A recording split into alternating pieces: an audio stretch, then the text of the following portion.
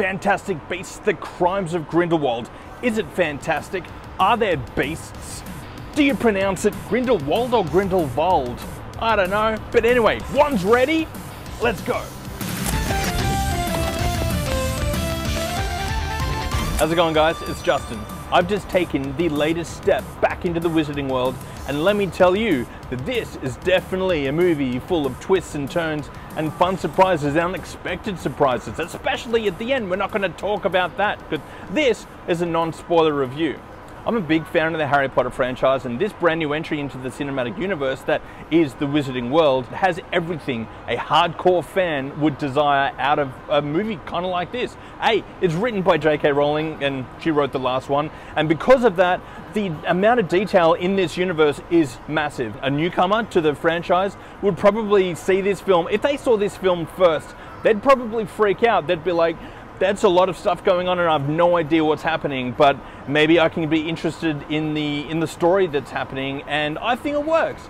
You've got a few characters that are split up and it's like that story and that story and that story and yeah, maybe it doesn't work that well. Um, there isn't a singular main character of the film unless it's Grindelwald. Maybe they've taken a page out of the Marvel playbook and instead of it being the heroes who are on their own journeys, it's actually about the journey of the villain and how the villain story will interact and interconnects with everybody that he meets. Not to say that we don't still get to enjoy Newt Scamander as our hero of the day. Um, he was in the last film and he was definitely the kind of bumbling hero, but it, I think personally the Newt Scamander character would work better as a side character, and I think this film kind of actually made him a bit of a side character. Grindelwald is definitely more engaging and more interesting to watch because it's Johnny Depp, and Johnny Depp is pretty much great in everything that it does, except for all the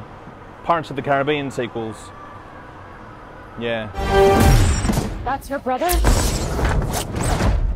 I think that might have been the best moment of my life. I gotta say though, as a fan of the franchise, reading the screenplay is probably a no-brainer. If everybody else has read the books for the Harry Potter films, read the screenplays for these movies because the amount of detail that is spoken because of the way that J.K. Rowling is as a writer, a lot of the detail isn't in the visuals, even though the visuals are astounding, and that's very much thanks to David Yates and his direction. But there's something about these kind of films that I think it benefits from being able to read it. Whether it, when it comes out on home video, it's reading the subtitles and actually truly understanding what all the characters and all the jargon actually means.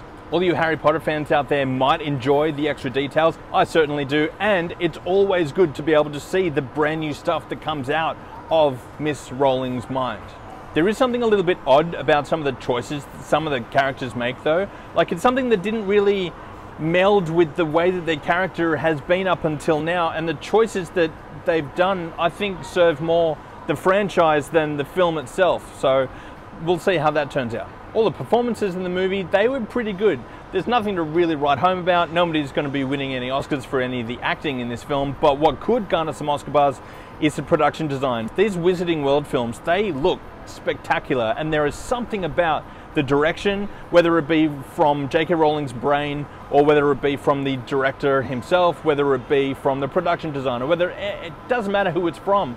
But this film and all of the other Wizarding World films that have come before it, they truly have a really great style to them. And once again, we are in the 1920s, so we get to have a little bit of the old school look and feel of what it used to look like back in those days, especially for the Wizarding World.